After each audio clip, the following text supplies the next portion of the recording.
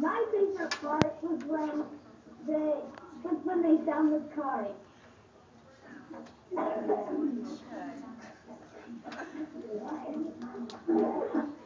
Both of you are going to be there in uh, Iowa. You all get together as this class and go to one. The fourth graders have not, um, here we go, have not voted yet. The voting is, uh, ends March thirty-first, and they have to read at least two of the books on the Iowa Children's Choice Award list. And we're keeping track of the reading for all the fourth grade classes. Where are you guys in the ranking? I think you're number one, aren't you? Yeah. Yeah, this class is way ahead of the rest of them, so they're doing really good. Wonderful. Um, in Nebraska, you have to pick four of the titles in order to be eligible to vote. And they're, they're doing pretty well. In April, we, we vote on the, uh, uh, winner. Um, two of our students have read Credible Shrinking Rat.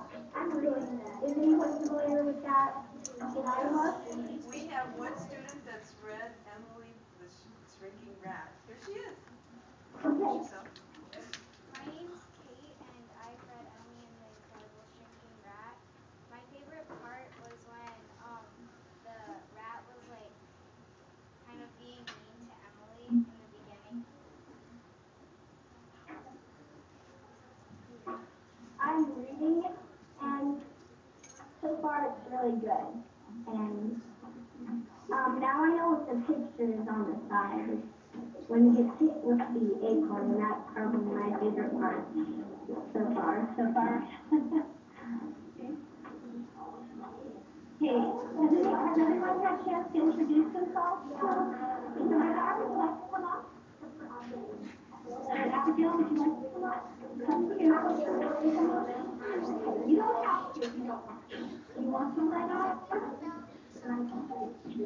Yes, you ask what was the, which is the most popular oh, okay.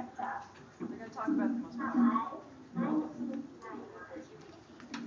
Um, what is the most favorite book in your class? Oh, boy, I don't know. Kate, you wanna say?